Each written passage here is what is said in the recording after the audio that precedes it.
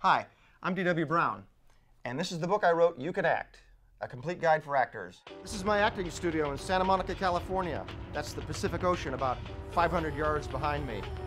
These are some of the talented people who've done seminars and spoken here at the school. What I needed most out of acting is to be vulnerable. The book just takes you through this comfortable feeling of just being able to be free, just be that child. You have to, one, be okay with yourself and be okay with being vulnerable. I can't believe how far I've come. I can't believe I was able to accomplish all this. It teaches you how to live truthfully under imaginary circumstances. It is so great that I have all the stuff that DW teaches right here in my hand right now.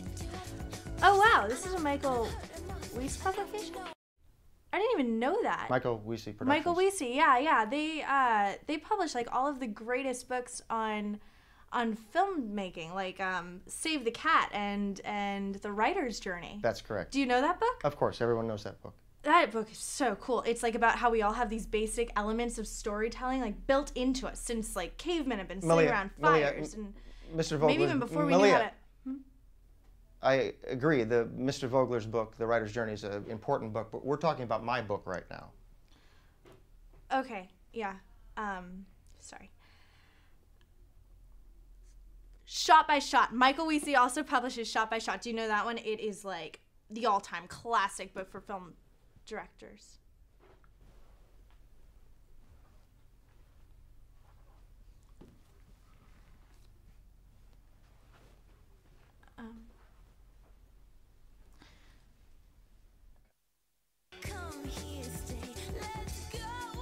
Benicio del Toro, he spoke here at the school. He said that when he's doing a movie and playing a dentist, he likes to know more about dentistry than anybody else on the set. Sean Penn gave a seminar here at the school. We go back. We were in Fast Times at Ridgemont High together. I actually taught his hugely talented and striking wife, Robin Wright Penn. The emotional preparation technique is so profound. a wall or something inside me has really opened up. when you when you go through these techniques, you become the person that you want to be in the movies. DW is awesome. He is this sharpshooter. Working with DW is just amazing.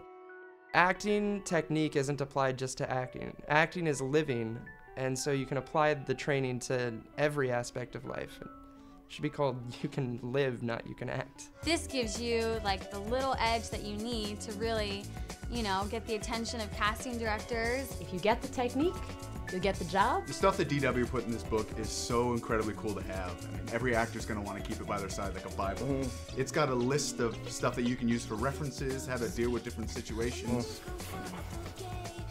tips on how to deal with those different situations, and Yeah, you know, I, I'm sorry, Brian. I, I, uh, I don't think we can do this now. I, uh, it's just hit me.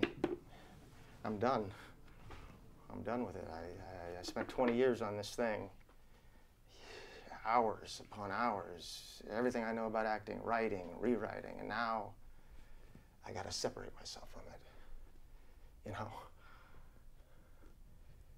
I were to start working on this before there was uh, the laser printer. Remember the jet printers? Sure. And now it's over. And uh, I guess it's like a child. You watch it grow, and then it's a book of nonfiction. You could like add different stuff for like a second edition. You know, you don't have to give up now. You can keep working on it. You know, for like a second edition.